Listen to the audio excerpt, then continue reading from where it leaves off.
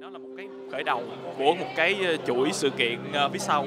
Nó vẫn mang lại đúng cái tính chất của cái tên phim đó là coi phim không dám nói gì hết.